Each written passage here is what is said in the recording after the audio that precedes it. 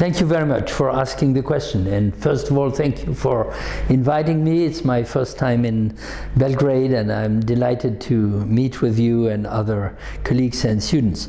Um, yes, I do support such a movement. I wish it were a global movement. I'm not sure it's uh, already the case, but there have been uh, interesting and I would say converging uh, initiatives in uh, different parts of the world. Uh, I myself uh, teach in, uh, in, still teach in France, in Europe. I teach in the United States, and I've seen that this uh, this this idea is supported in, in, in, in, many different places.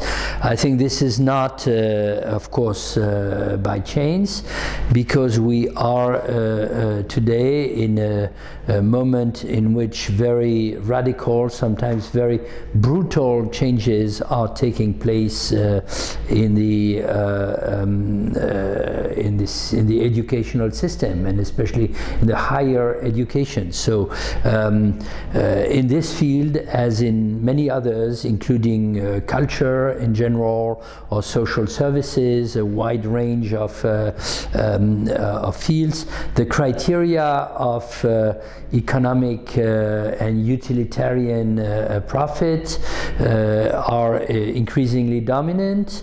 the budgetary crisis of states or um, regions and municipalities are used as um, pretexts, in fact, to cut the, the public funding or to um, transfer educational um, activities to uh, either privatized uh, uh, institutions or to public institutions which are public only nominally, but they now work according to uh, uh, um, uh, private profit criteria. so basically, I think this is catastrophic. There certainly is a need, and we'll return to that, to uh, uh, modernize the educational system, to adapt to a new historical conjuncture in which the, the uh, transnational dimension is becoming increasingly important, in which some new forms of communication are increasingly important for culture. It's no longer only reading books or learning humanities in the old sense or, or pure sciences. There are new fields there are new conditions. But the fact that uh, uh, this uh, historic change would lead to a complete subjection of the educational system to pure profit um, logics is Uh, uh, really uh, catastrophic. It's catastrophic for the students, it's catastrophic for the professors and the teachers, and it's catastrophic for the cultural standard it, uh, itself. So when the English students massively uh, uh, protest, sometimes they're accused of protesting violently. there would be a lot to be said about the violence which most of the time comes from the either from provocators or from police forces and not from the students themselves.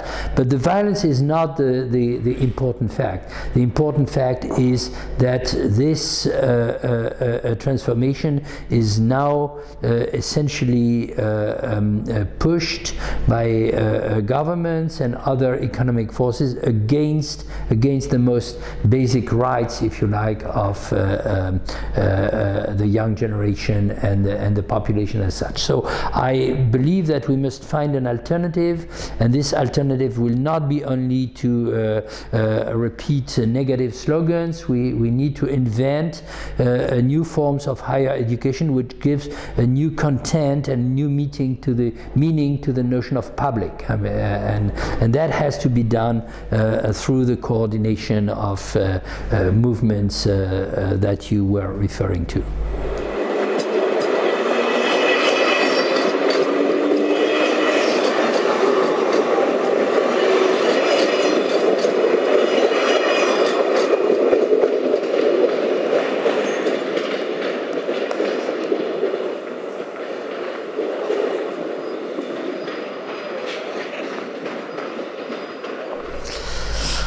Okay, uh, again, this this is a complex web of different questions. I think I had uh, um, it would be uh, clearer if I um, uh, explain right away that uh, I am myself a very committed uh, internationalist. So my perspective, um, both intellectually, if you like, philosophically, morally, and also politically, is um, uh, uh, uh, an internationalist or transnationalist perspective. This being said, I am very sensible to the argument that uh, nation states or some nation states um, uh, uh, have been and to some extent remain until today the only place where democratic processes democratic control of the of the government, uh, counter powers, if you like, uh, um, which uh, prevent the economic system from becoming entirely uh, uh, oligarchic and technocratic, uh, can take place. um, so this has to do, I believe, it's a little bit philosophical, but I think everybody can um, join this conversation with the um, complex meaning of the notion people.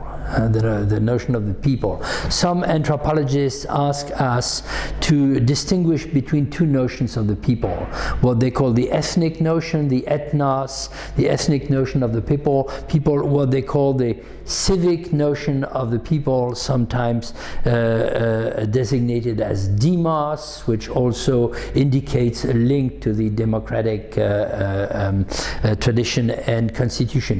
What I believe is, in fact, these are uh, important distinctions, and especially in as much as they um, lead us to imagine that the democratic element could also emerge and uh, uh, crystallize and become active in other um, limits or boundaries or frameworks than the purely national uh, um, uh, limits. But in practice, in practice, they are continuously Uh, uh, merged or uh, um, uh, combined with one another.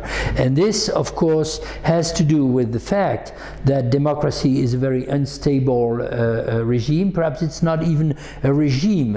what you have, in fact, in politics is a permanent conflict between tendencies towards lesser democracy, more technocratic, more oligarchic forms of government, and greater forms of popular participation and popular uh, uh, control. So the fact is that uh, uh, in the history of the last two centuries, the 19th century, the 20th century, um, the relative advances of democratization against uh, de-democratization or oligarchic uh, uh, forms of government took place in the national framework. Uh, there were, uh, uh, of course, dramatic events which led to that. The popular fronts, the revolutions here, um, um, the consequences of, of wars and things like that.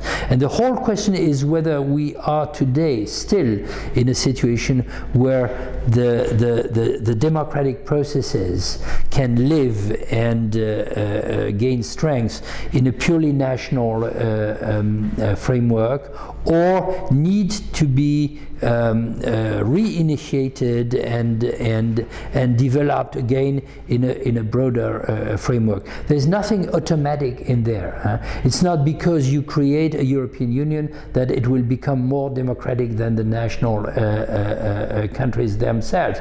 Therefore, I understand to some extent why some people, not only on the right, not only uh, extreme nationalists, but people on the left, uh, stick to the idea of national sovereignty because they believe that this is the place where the people in the civic sense keeps uh, having some weight. In fact, I believe that globalization is depriving people, isolated people, increasingly from their capacity to uh, uh, influence their uh, country's politics.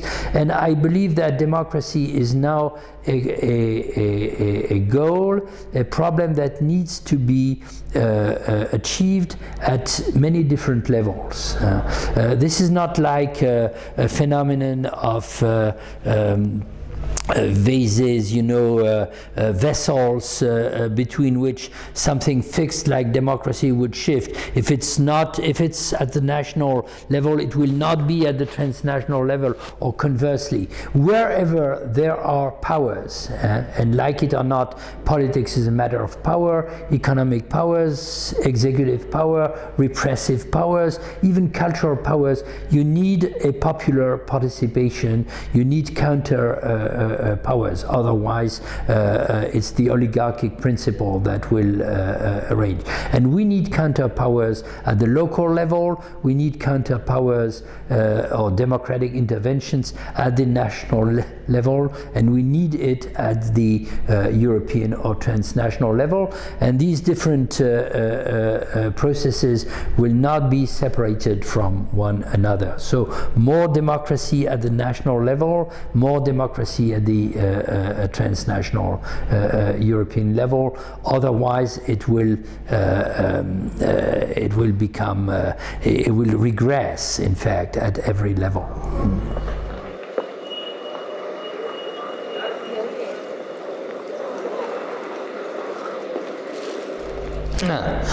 you read you read my my my book or part of it. Uh, systemic violence is, uh, is, is an important concept. People tend to uh, uh, focus, I mean, because this is on the media, this is on, uh, this is what, uh, what is most visible, I would say, you know, uh, to focus on uh, moments of eruption, if you like, of extreme violence.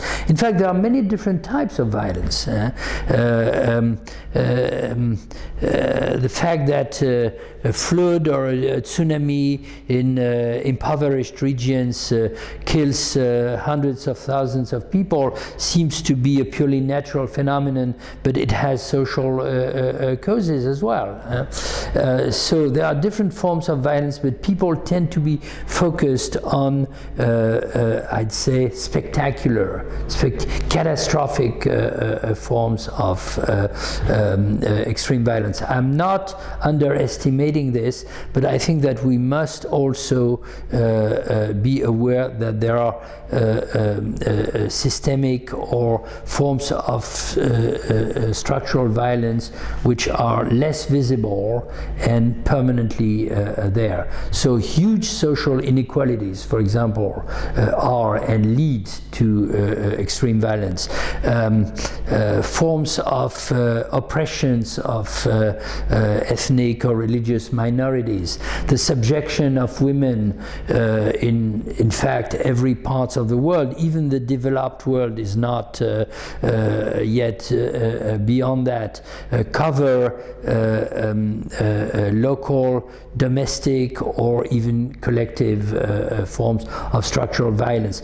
Uh, this is something that uh, we learned from Marxism. We have to broaden the uh, framework, the analytic framework provided by Marxism, recognize that there are other forms of domination and extreme violence than the pure economic uh, one, but also not forget that one, and try and and uh, understand the circumstances, the historic circumstances which uh, uh, lead, if you like, from latent hidden, invisible structural violence to uh, uh spectacular uh, uh, eruptions and events. Now, whether this can take place in Europe today, well, I'd say that it's already the case. I mean, you have forms of persecutions.